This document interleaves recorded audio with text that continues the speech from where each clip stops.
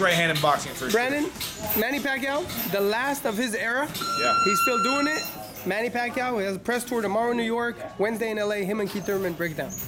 Unbelievable. 40 Manny, 40 year old Manny Pacquiao is in a marquee fight against a top the- welterweight, the basically champion, in his prime. undefeated. And and, and we we're not sure if he's going to lose. You know, that's the crazy thing. Look, we've seen stars of yesteryear, as, as long as boxing's been around, come in for the payday.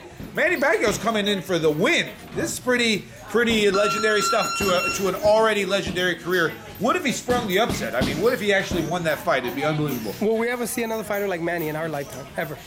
The eighth division Yeah. champ, the, the superstar from the Philippines, like Duran is to Panama, Manny Pacquiao's to the Philippines. We, the entire country adores him and loves him, and he's a senator.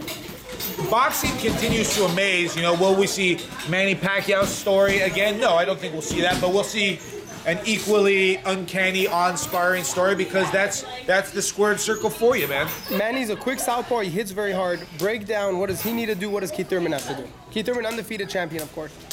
So Manny Pacquiao uh, needs to exhibit some good defense because Keith Thurman can punch, and then he has to be the counter puncher that he is because that's how you're going to kind of catch Thurman.